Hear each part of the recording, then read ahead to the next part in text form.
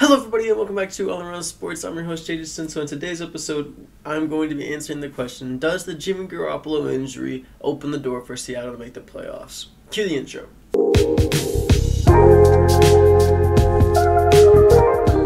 So, last week, Jimmy Garoppolo broke his foot and will miss the remainder of the season.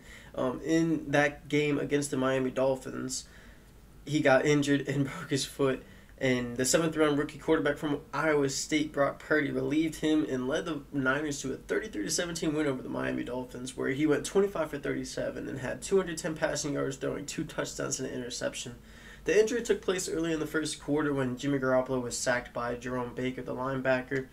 Um, after the injury, the 49ers really relied on their star running back, Christian McCaffrey, to carry them to this game. In he ran 17 times for 66 yards and caught eight passes for 80 yards and had a receiving touchdown also in the same game all around. I mean, that really just shows the ability of Christian McCaffrey and how you can utilize him in different areas of the field. The defense was also huge for the Niners in this game as they forced four turnovers and dominated this game as they are really proven they are one of the top defenses in the league, if not the top defense in the league. Now, moving on to Brock Purdy. As a lifelong Baylor fan, I've had the chance to see Brock Purdy play for Iowa State through his years there, and I always thought he was a very solid quarterback. He is a solid game manage, manager and has a very solid leadership quality to him. He lacks arm talent, but he makes up for it with his smarts and his calmness in big situations.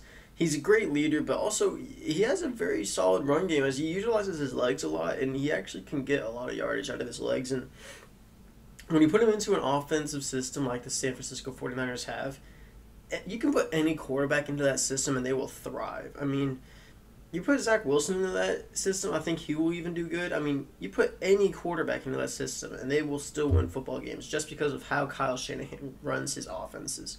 And if you're a quarterback that has made it to the NFL, you want to be in his systems because he can make any quarterback look good. I mean, that's no disrespect to any quarterback that's played in his systems, but he will just make you look good no matter who you are and how you play. Now the 49ers are 8 and 4 after week 13 where the Seahawks are 7 and 5 and are coming off a narrow win against the Matthew Staffordless LA Rams.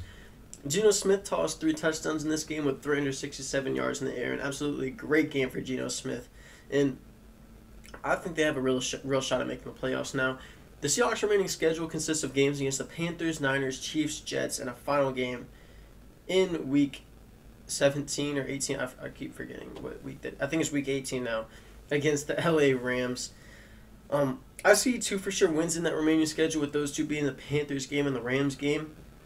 Other than that, I think that Niners game is really going to decide who will make the playoffs and who will win the division. Um, the Niners' remaining schedule consists of the Bucs, Seahawks, Commanders, Raiders, and Cardinals.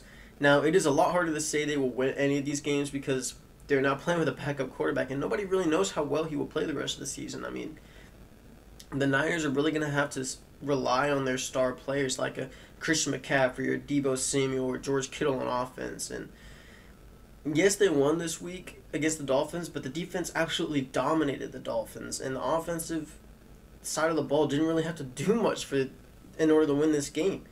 Now, I, I still think this season just rides on the play of Deebo Samuel and Christian McCaffrey and George Kittle now on offense. Um, if the two superstars, well, three superstars on this offense play well, I think the Niners can do enough to make the playoffs this year. But do I think the Niners or the Seattle Seahawks will make the playoffs this year? I've started riding the Geno Smith hype train since week four, whenever they were really starting to look like a very solid team. I think the Seattle Seahawks will make the playoffs over the San Francisco 49ers. That is my prediction.